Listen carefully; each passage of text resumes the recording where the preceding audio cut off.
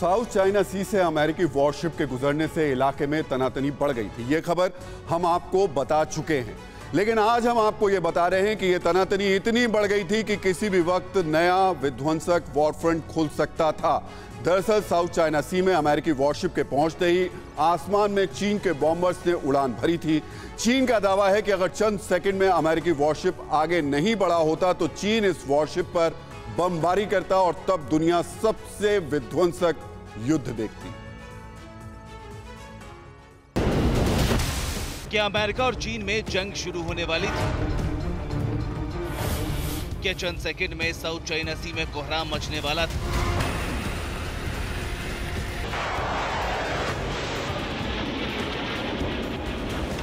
क्या दुनिया में तबाही का नया वॉर फ्रंट खुलने वाला था?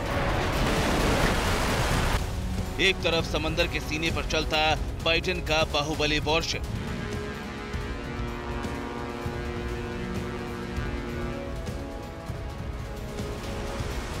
दूसरी ओर आसमान में परवाज भरता जिनपिंग का विनाशक बम।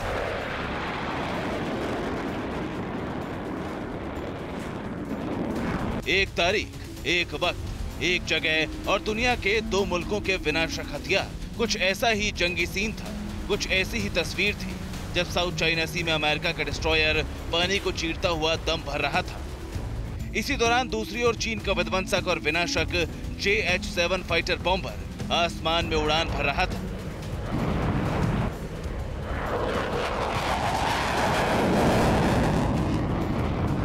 ऐसा लग रहा था बस भीषण बारूदी जंग शुरू होने वाली है, लेकिन अमेरिकी वॉरशिप निकल गया और युद्ध टल गया।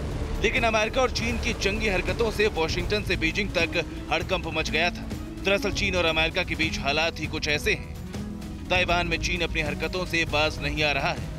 अमेरिका खुलकर ताइवान का समर्थन कर रहा है।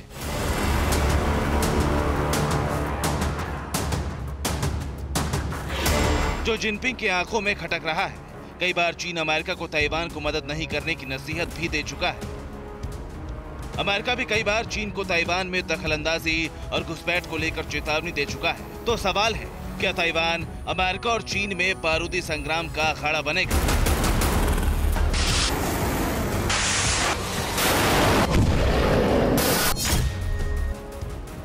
फ़िलहाल तो चीन और अमेरिका में युद्ध का खतरा टल गया, लेकिन हालात अभी भी जंगी बने हुए हैं। कभी भी एक चिंगारी निकलेगी।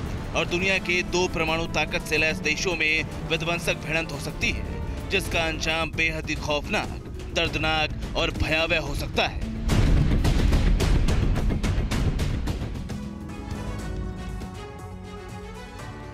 और अब आपको विस्तार से बताते हैं कि कैसे चंद सेकंड में एक विध्वंसक वॉर टल गई। अगर थोड़ी और देर हुई होती तो यकीनन जंग का नया मोर्चा खुल गया होता। चीन, ताइवान के बीच ताइवान स्टेट का ताइवान की खाड़ी से होकर अमेरिकी वॉरशिप यूएसएस सैमसन गुजर रहा था। चीन के अलार्म सिस्टम ने अधिकारियों को बताया कि उसकी जलसीमा में कोई अज्ञात वॉरशिप घुस आया है। अलर्ट मिलते ही वॉरशिप के ऊपर चीन का विध्वंसक और विनाशक J H seven fighter bomber आसमान में मंडराने लगा। चीन की एजेंसियों ने अमेरिकी वॉरशिप को चेतावनी दी और अपने सीमा से बाहर निकलने को कहा। जब तक चीनी बॉम्बर कोई एक्शन लेता, तब तक अमेरिकी वॉरशिप आगे बढ़ चुकी थी।